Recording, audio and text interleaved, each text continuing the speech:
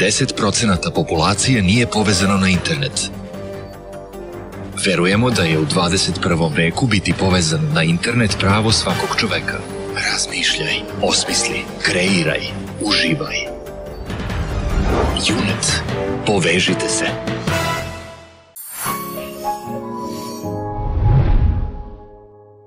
Ministarka za rad, zapošljavanje, boračka i socijalna pitanja u vladi Republike Srbije Darija Kisić-Tepavčević posetila je danas Vršac, grad koji je poslednjih godina napravio velike korake u podršci osobama sa invaliditetom i njihovoj sveobuhvatnoj inkluzije. Nadomak Vršca u Vlajkovcu na kanalu DTD uređeno je izletište sa platformom za sportski ribolov, prilagođeno osobama sa invaliditetom jedinstveno na ovim prostorima. Izletište uz opremu i rampu za ribolov ima potpuno prilagođen prostor za druženje, kuhinju, sanitarne prostorije – Njegovu izgradnju i uređenje pored grada podržali su i brojni sponzori Vode Vojvodine, ali i Ministarstvo za rad zapošljavanje boračka i socijalna pitanja preko sektora za osobe sa invaliditetom.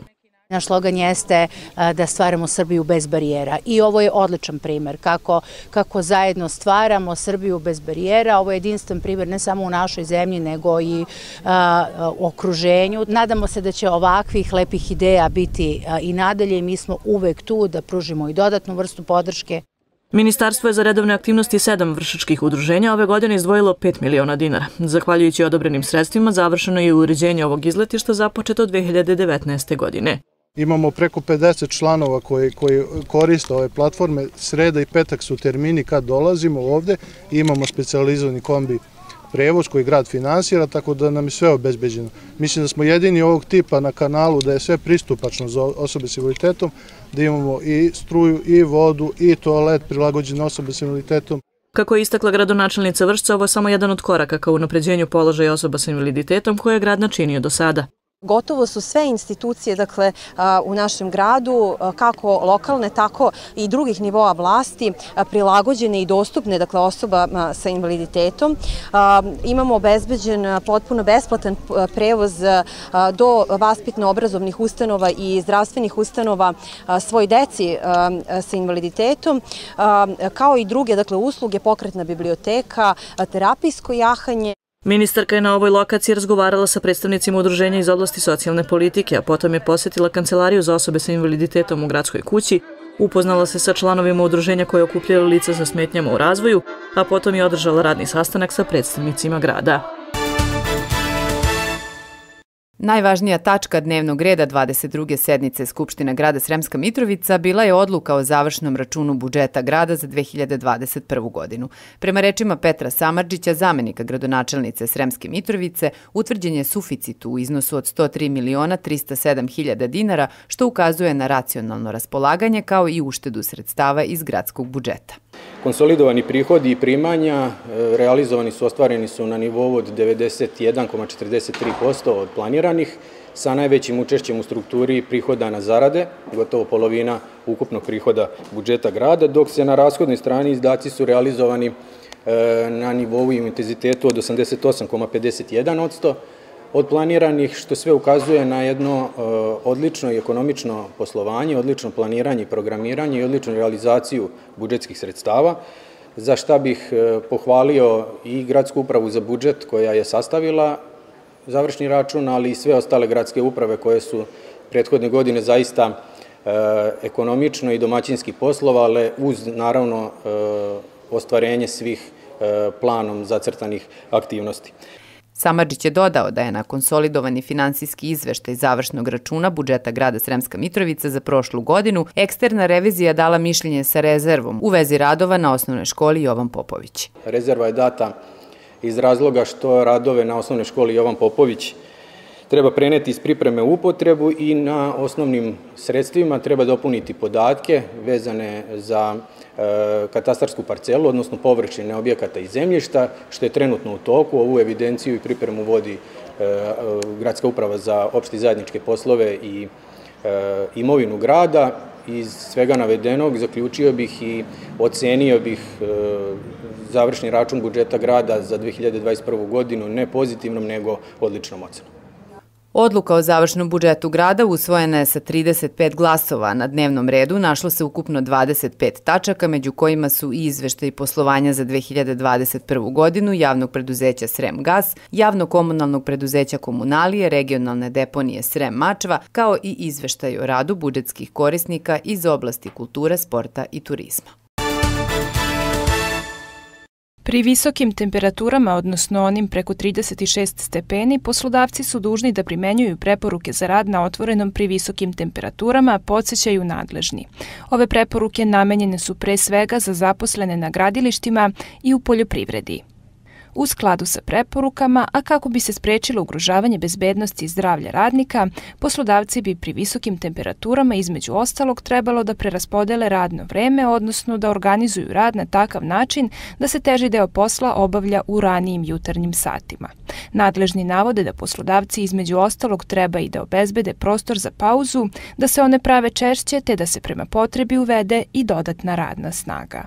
Kod e visokih temperatura. Poslodavci mogu učiniti i predvideti samo jedan određeni broj e, mera i aktivnosti koje bi na neki način ublažile i smanjile rizik po zdravlje zaposlenih. Tako e, prvenstveno treba izvršiti preraspodelu radnog vremena, treba obezbediti poslodavac za zaposlene prostor gdje se oni mogu odmarati, to je neka hladovina napraviti da zaposleni nošce i koriste la, e, materijale, lakše majice od prirodnih materijala i to da se obezbedi dovoljna količina vode. Veoma je značajno da poslodavci omoguće obuku radnika za pružanje prve pomoći, ističe šef oceka inspekcije rada Severnobačkog upravnog okruga Božo Ivković.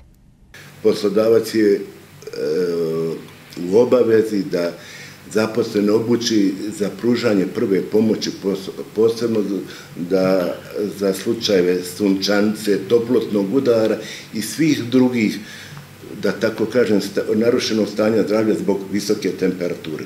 Da bi zaposleni identifikovali to stanje i da bi mogli ugroženim da pruže prvu pomoć do dolaska hitne pomoći ukoliko se ne primenjuju propisane mere za rad na otvorenom pri visokim temperaturama na adekvatan način u zavisnosti od situacije kazne dostižu i do 2 miliona dinara. U toku ove godine nije registrovan slučaj gde poslodavac nije postupao po propisima, navode iz inspekcije rada. Ubiranje pšeničnog zrna jedan je od najznačajnijih poljoprivrednih radova. U atarima Šitske opštine žetva je obavljena na većini polja, a protekle jeseni je na posadima poljoprivrednih gazdinstava i zemljoradničkih zadruga zasejano oko 7000 hektara strnih useva. Vremenski uslovi su idealni tako da se radovi odvijaju po planu, kazao nam je Goran Brestovački, kombajner iz Bačinaca. Žetva je pri kraju, ide dobro, vremenski uslovi nam omogućavaju da možemo raditi do kasno uveče dok ne padne rosa, znači radimo baš pun gas. Kakav je ovogodišnji rod i kakav je kvalitet zrna? Kvalitet zrna je dobar, malo je sitnije zrno, ali prinos je malo slabiji od prošle godine. E, komentar za cenu ili nemate komentara? Ne, cenu stvarno nemam komentara. Poljoprivrednici su nezadovoljni jer je pšenica roba koja u žetvi nikada nema formiranu realnu i proizvođačima prihvatljivu cenu. Kada je reč o prinosu, ove godine je nešto manji u odnosu na protekle, ali je ipak zadovoljavajući i iznosi oko 35 do 40 metara po katastarskom jutru. Prema dinamici kojom se žetva odvije na poljima Šitske opštine, prognoza je da će vršitba hlebnog zrna biti završena početkom iduće nedelje.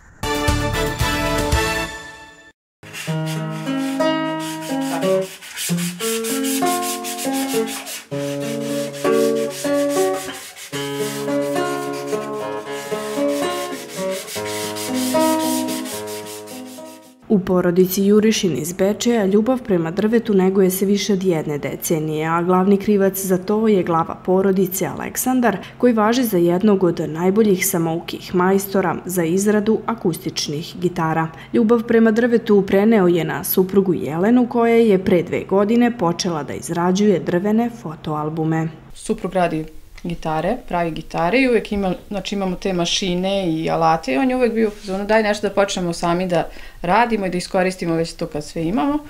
I onda sam ja došla na ideju da pravimo fotoalbume.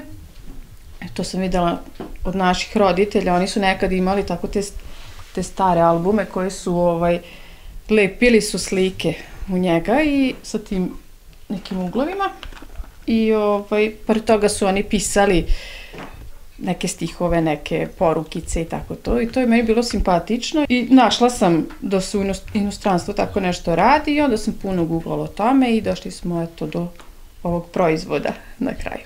Pa to je šperploča od breze ovaj, koja se sastavlja, znači to su dve ploče koje sastavljamo sa kožom i nitnama.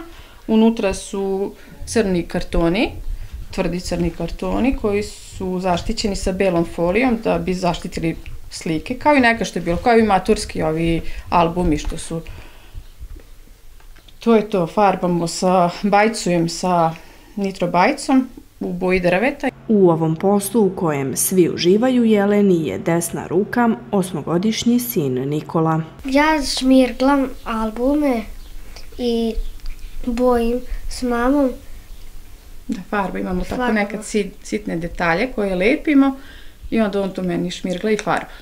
Jel voliš ti to Nikola da radiš? Pa da. Za izradu fotoalbuma služi se CNC mašinom i laserom, a veštine rada na ovim mašinama savladala je uz pomoć i podršku supruga Aleksandra. Albumi se izrađuju po meri i želji kupaca. To je personalizovani fotoalbum koji, znači ta prednja strana se radi po izboru kupca, po ideji. Iako često se desi da, na primjer, i ne znaju šta žele, pa u dogovoru s nama nešto nađemo i odradimo zajedno to sve. Pa najviše se naručuje za venčanja, to mi je najviše bi išlo, za rođenje de dece i za godišnjice braka. To, tipa 25 godina, 30, 50 je čak bilo, ali uglavnom, kažem, najviše je za venčanja išlo. Ko su kupci odakle? Pa, obično su tu iz Srbije. Imam i inostranstvo, par komada, ali pretežno je kupci su iz Srbije. Iako ima planove da uvede neke inovacije, Jelena kaže da ne žuri sa time, budući da joj je trebalo oko šest meseci rada i isprobavanja da bi došla do proizvoda kakav ima danas. Kod nas u Srbiji nema ovako nešto, bar ja nisam naišla iskreno. Ali ovaj, sad zadnjih godinu dana stvarno ima posla oko toga. Najgore, mislim, imam i Instagram i Facebook stranicu, ali nekad jednostavno i ne stignem da stavim neke slike gotovo proizvoda, što je i problem nekad si trebalo bi češće, ali ovaj, stvarno imam posla i, i drago mi je što, što se ljudi okreću ka tome i što cene taj ručni rad. Sve više i više mislim da se ceni u Srbiji. U radionici porodice Jurišin radi se na smenu. Aleksandar je zauzet pravljenjem gitara za koje je interesovanje konstantno. Izrađuje desetak različitih modela, a do sada je napravio oko 300 ovih instrumenta. Jedna je čak završila kod šefa ruske diplomatije Sergeja Lavrova. Priča je bila da nama u tom periodu u kući imali neki peh, veš mašina nam je bila, pokvarila se i mi smo bili u nekoj potrazi za novoj, naravno i po radnjama gledamo šta ćemo, zvoni mi telefon i zovu ko nas interesuje gitara, Pa kakva, klasična ili akustična? Pa kao akustična, pa dobro, dogovorimo se mi tu i onda nam ne priča, ovde je ministarstvo spoljnih poslova iz kabineta Ivice Dačića, rekao, če, če, če, u čemu se ovde radi, rekao, mislim, pa da, da, nama treba pa kao poseban poklon za jednog posebnog gosta, pa htali smo gitaru, rekao, Rekao, ok, ok, u redu. Rekao, za kada vam treba? Tipa, to je bilo petak, ona nam pa za utorak. Po redu to tako, rekao, to se mesec dana unapred brzevi. Jo, pa nama je to važno, pa da li bi mogli? Rekao, ajde idem kući pa ću da vidimo radionicu, šta imamo započeto, možda imamo neku započetu gitaru na pola, pa ćemo da vidimo. I ja dođem kući, onda vidim da imam jednu gitaru sa imao, stvarno domaćeg drveta, kruška, je bilo interesantno, stvarno i zovemo, oni su obradali naravno i tako to je ovaj, i bilo realizovano i ja sam njima stvarno utorak ovaj, i, i predao, nosio su ministarstvo, ovaj, predao im gitaru i bili su i, i zadovoljni, ali, i kažem, i, ali poslije, mislim da je bila utorak, sam odno u sredu su oni to ovaj, i predali Lavrovu stvarno, onako mi je bilo, ovaj, moram priznati, bio sam jako srećan i zadovoljan s tim.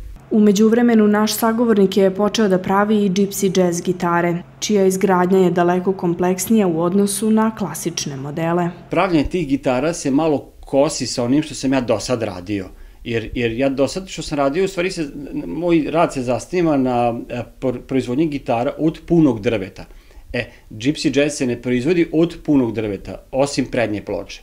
Znači, prednja ploča, mislim, vrata, ne, leđa i stranice se proizvode od, kako da kažem, od laminiranog materijala. U stvari, to se furniri lepe u nakrst, ide tri sloja furnira, da bi proizveo taj zvuk koji treba da proizvodi. Jer ta gitara je poznata, postala po Django Reinhardt, to je gypsy jazz muzičar, koji je u stvari prve gitare koje su pravili za njega su bile od punog drveta, međutim on je shvatio da, da, da taj zvuk koji njemu treba a, nije dovoljno projektivan kao kad bi proizvod, oni su probavali eksperimentima da naprave od tih laminiranih materijala I onda su u stvari shvatili da je to to što njemu treba i zbog toga su te gitare postale popularne na na taj način. Opširnije o porodici Jurišine, njihovim kreativno-umetničkim radovima saznajte u emisiji Bečejski ugao koja će biti emitovana u sredu 6. jula.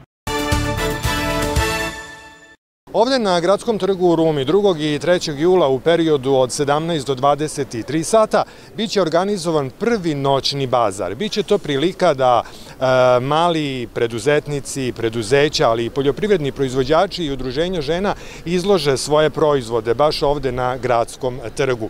Ovaj deo glavne ulice u Rumi naspram Gradskog trga e, biće zatvoren za saobraćaj zato što će i tamo biti tezge sa raznovrsnom robom, jer kako kažu organizatori, interesovanje je izuzetno veliko. Centar Rume će 2. i 3. jula u večernjim satima ispuniti mnogobrojne tezge sa raznovrsnim proizvodima koji će posetiocima biti dostupni po pristupačnim cenama.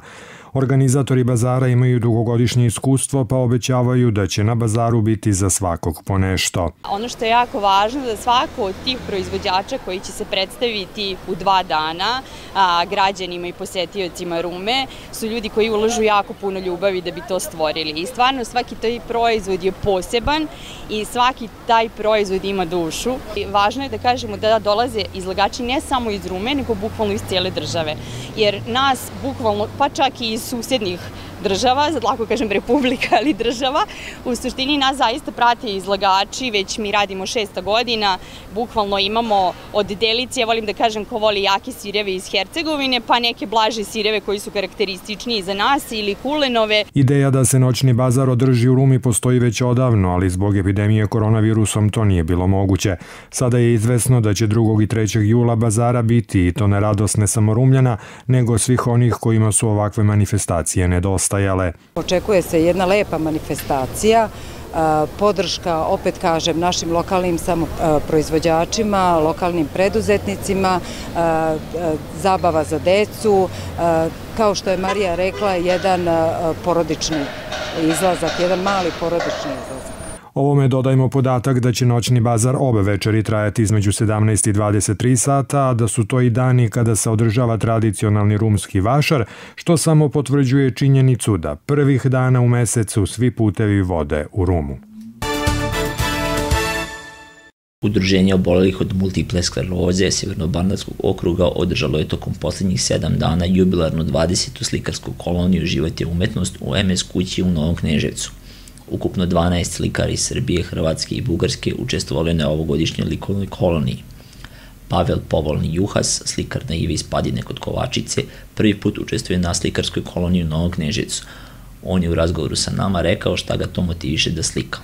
Imao sam razne teme za tih 36 godina kako radim, ali sad me najviše zadržala tema vinogradi i podrumi sve o vinu.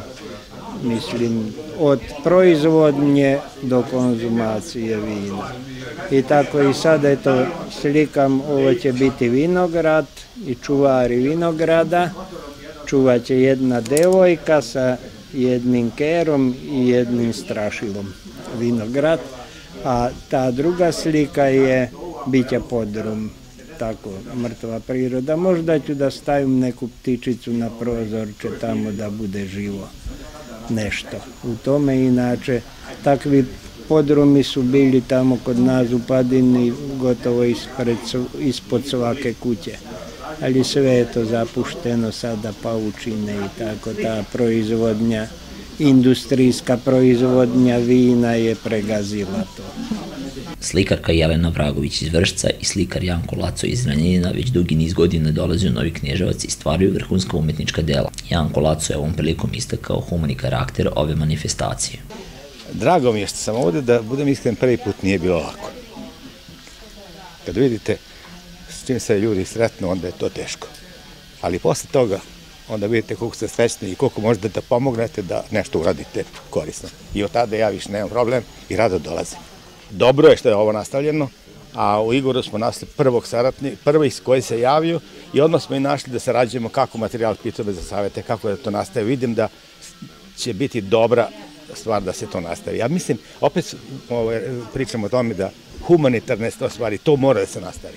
I nema uh, u Vojvodini, ja mislim, ni jedna kuća kao što je ova. Ja ovde ne znam više koji sam put, ali uvek rado dolazim. Ja mislim da sam najmanje pet puta bila. I stvarno, svake godine se i nadam tom pozivu i to je nekako prva kolonija kad se završi zima, proleće i onda ovde dođem i meni ovde počinje leto.